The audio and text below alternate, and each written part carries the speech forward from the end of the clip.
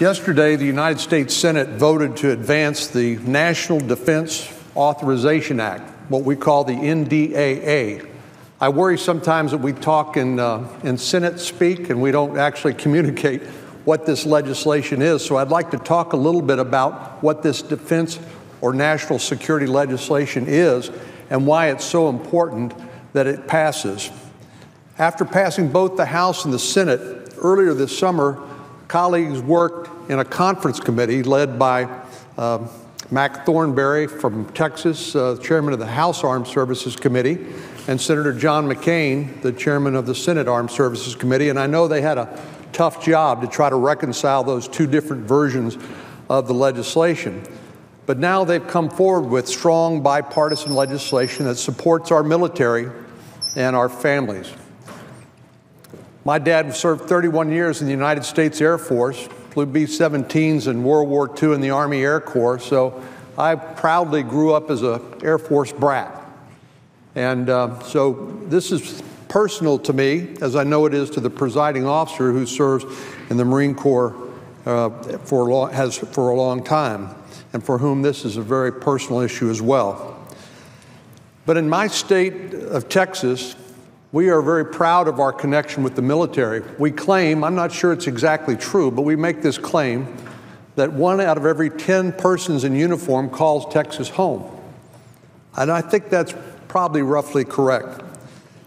But we want to make sure that through this legislation that we do our job to make sure that our military gets the equipment and the training they need in order to perform the dangerous missions we ask them to perform here in the United States and around the world. That's what this legislation does. For example, the bill authorizes funding for the Corpus Christi Army Depot. This installation is a true national treasure because what it does is it refurbishes the rotary craft, uh, rotary wing aircraft that come from overseas, and after they're battered and beaten up, they come back and make them like new. So when these Army helicopters serve overseas, they come back for a pit stop in Corpus Christi at the depot and are made sure that they're ready for the next challenge that our military faces. So this legislation that we'll be voting on at 2 o'clock this afternoon authorizes funding for the construction of a new facility at the depot where helicopter engines and transmissions can continue to be prepared and we can continue to equip as we should, our military. This defense authorization bill also authorizes critical military construction, like the barracks at uh, the Air Force Basic Training Program at Lackland Air Force Base in San Antonio, where thousands of airmen start their service to this nation every year. That was the first assignment for my dad at Lackland Air Force Base in San Antonio, Texas, when I was a freshman in high school.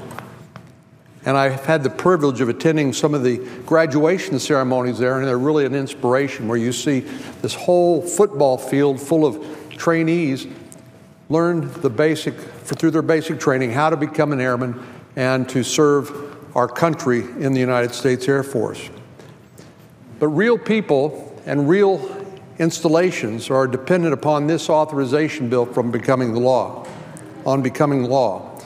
This defense legislation is integral to ensuring that our military is well resourced, well trained, and ready for action when called upon.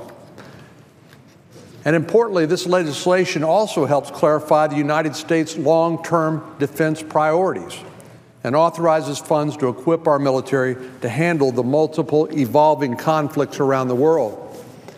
I'm reminded when uh, August I visited Pacific Command with some of our colleagues here in the Senate, where Admiral Harris, the four star commander of the Pacific Command, we asked him, What keeps you up at night? What, what are you most concerned about? And top of his list was uh, North Korea, uh, governed by a volatile dictator with nuclear weapons and intercontinental ballistic missiles. I know uh, General Dunford, the new uh, chairman of the Joint Chiefs of Staff, the former commandant of the Marine Corps, had a little bit different ordering. He put Russia, I think, at the top, and China, and then I think it was North Korea, and then ISIL, if I'm not mistaken. But regardless of the exact order, we know that there are numerous threats to world peace, and regional security. And basically, we learned the lesson on 9 11. What happens overseas doesn't stay overseas, it directly affects our security right here at home, too. So that's why this legislation is just so, is so critical. So, this defense authorization bill also includes provisions that fund um, efforts to counter Russian aggression in Eastern Europe, where Vladimir Putin is trying to intimidate and coerce countries that are part of NATO, the North Atlantic Treaty Alliance, and threatening them with the kind of aggression we've seen in Crimea and Ukraine.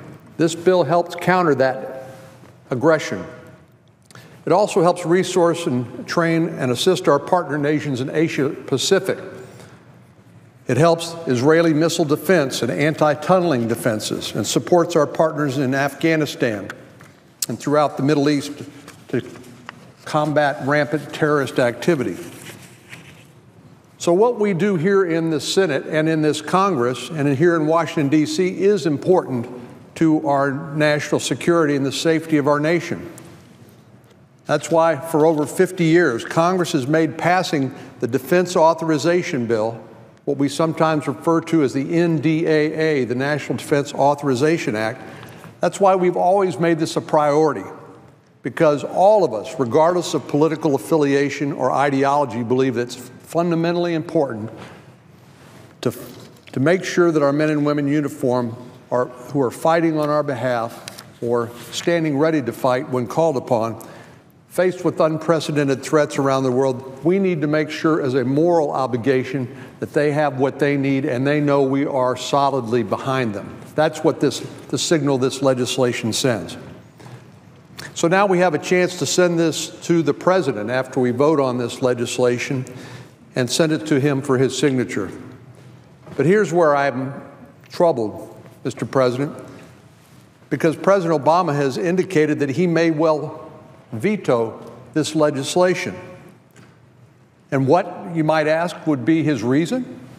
Is there some provision of the legislation that he finds so repugnant or difficult that he, he wants to veto the legislation? Well, frankly, what, we're, what the president and the White House has said is they claim the funding levels outlined in the defense authorization bill are irresponsible.